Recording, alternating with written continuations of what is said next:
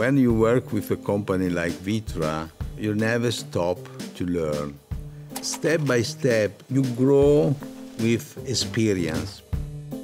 So ACX is really building on all the know-how that has been built over the years in the collaboration with Antonio Citterio.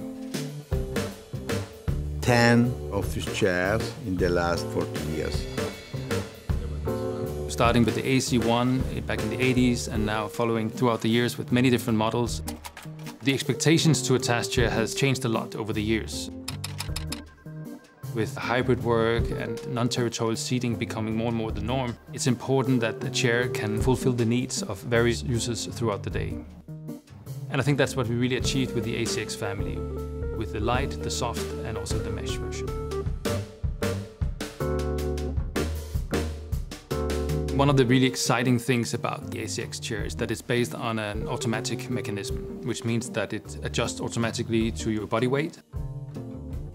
If you are 100 kilos or 50 kilos, the chair adapts to you and immediately you feel comfort. In the ACX chair, we tried to reduce the number of components and also the number of material used. Making it easy to maintain, service and recycle is to the benefit of the user and at the end also for the planet. In all products that we develop, sustainability is top of mind.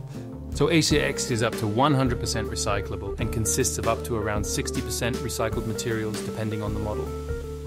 It's really the result of decades of developing task chairs at Vitra, combined with Antonio Citterio's visionary design process.